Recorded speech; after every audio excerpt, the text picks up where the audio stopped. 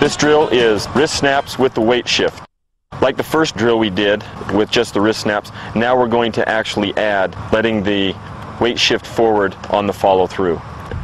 This is a correct start point for this drill. The objective is to have your shoulders in a straight line to your target as you progress through the drill and certainly at release point.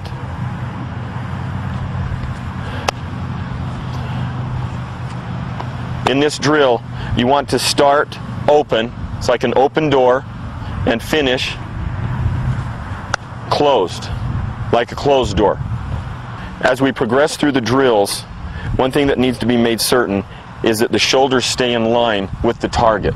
We don't want to start the drill slightly closed is how most people call this. This would be open. We want to make sure that we're not closed to our target at release. We want to make sure that we're open, our shoulders are in line because they need to change places. If we start out this way and that when the shoulders change places, then it's going to tend to make us run the ball off the target and we will not have the consistency.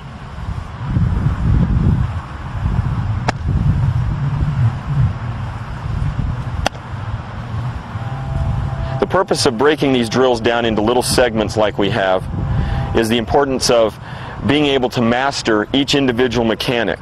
And to do that, we have to break it down. You do them at half speed, three quarter speed, until you've mastered the mechanics to be able to perform them at full speed.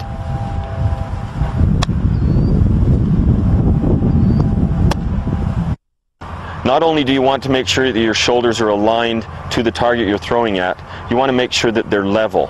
One way to accomplish this is during the drill, make sure that your glove is parallel with your shoulders.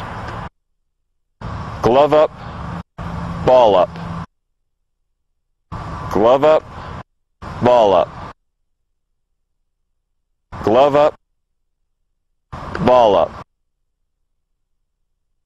Glove up, ball up.